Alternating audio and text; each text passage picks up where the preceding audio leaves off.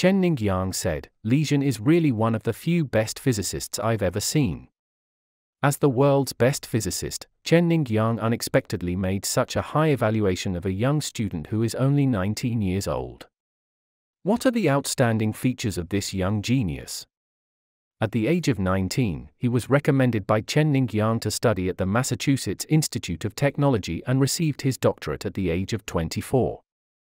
When many people thought he was going to stay overseas, he decided to return to China after completing his studies and devoted himself to the development of China's integrated circuit industry. So, what contribution has such a young talent made to China? Hi! Welcome to TechTeller. Before we start today's video, please subscribe to our channel, which is the encouragement that we can create more videos. Okay, let's move on to today's topic. In today's video, let us talk about the story of a young Chinese chip genius who surprised Chen Ning Yang. Okay, let's get started. Born in an ordinary family in Jiangsu province, China, Li Zhen excelled from an early age. Among the many subjects he studied, this boy was only very interested in physics and often had his own unique understanding in the process of learning. In addition, Zhen is also very interested in microelectronics and often looks for research materials outside of class to explore and study on his own. Because of his excellent performance, Zhen won first place in many physics competitions and became famous in the local area, from the students around him to the teachers and leaders of the school. At that time, Zhen often represented his school and region in many physics competitions. It was not until later that he entered the Asian physics competition for the first time and finally took the gold medal that this international award came and made Zhen completely famous. Jiangsu province gave this young genius a series of reports, and many universities in China extended invitations to him. After much deliberation, Li Zhen chose to attend Tsinghua University, the best university in China in the field of physics. He also undoubtedly chose to major in physics, which he liked best. During his time at the university, Li Zhen was excited by the new worlds portrayed by his teachers, the new knowledge in the library, and the profundity of the subject itself. Like a thirsty man who sees a clear spring, he plunged down on the shore of knowledge and drew more than his fill. Hard work and diligence became synonymous with Li Zhen, a student who was gifted but not arrogant, and who was loved by his teachers. Professor Yang Chenning was one of those teachers who were very fond of him.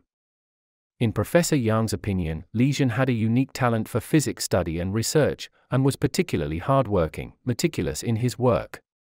And on top of these factors that deserve to be recognized, Li Zhen's own strong curiosity for knowledge in the field of physics is very suitable for scientific research.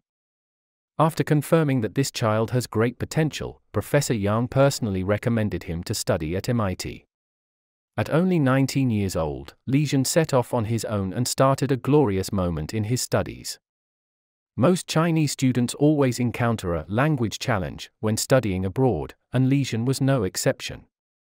He studied English on his own, day and night, in order to get into a more rapid state of learning, and improved his speaking and listening skills significantly in a very short time. He has gained the admiration and recognition of the Chinese student group for his strong adaptability. In addition to the language challenge, life in a foreign country is also very different from that in China.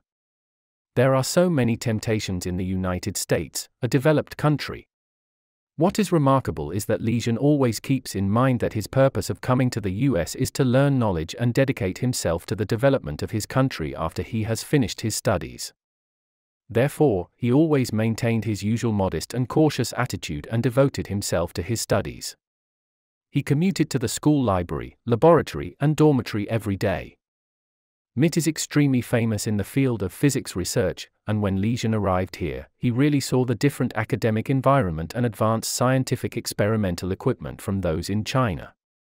With the opportunity to learn at a higher level, how could Li Zhen just let it go? In a place like MIT, where the world's top talents are gathered, Li Zhen is no less than others.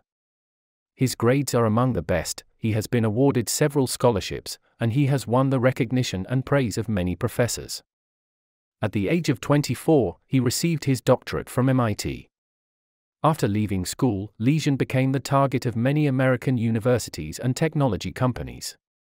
The high salary, coupled with the attractive scientific research support provided, is irresistible to most people who love scientific research.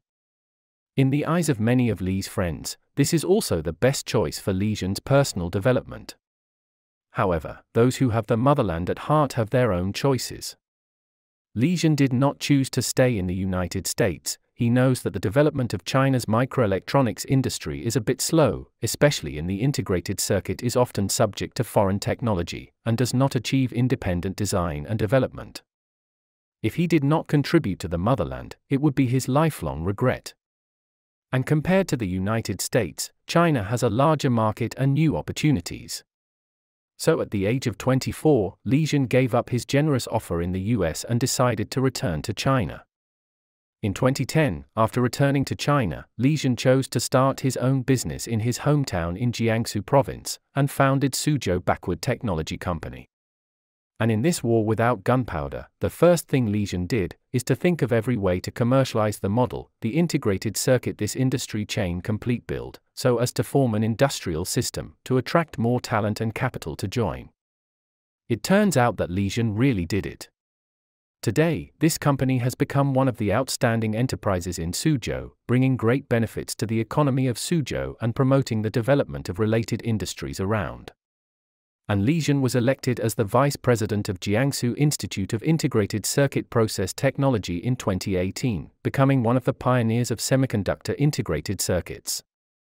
From a small startup company to a top notch microelectronics technology company in China, Li Zhen has led his team to grow steadily, making the company's related technologies at the international advanced level, which has been greatly improved compared with 10 years ago. Professor Chen Ningyang said that Li Zhen was one of the few young physicists he had ever met. It seems that the extremely high evaluation at the beginning has now been confirmed. Although now Li Zhen is almost 40 years old and has achieved great success, he is still moving forward quietly in the industry with great enthusiasm as he did when he was 19 years old. Using the process line as a platform and capital as a link, he builds a complete production line like IDM. This is what Li Zhen wants to do and is doing now. Do you think Li Zhen will succeed? Will he lead China's IC industry chain to a broader future? Okay, that's all for today. Please put your comments below and share your insightful ideas. Please keep following our channel and like our videos. I am Tech Teller, the person to tell you the opinions that worth spreading every day. Thank you so much for your continuous support. Your precious time with us is highly appreciated. See you.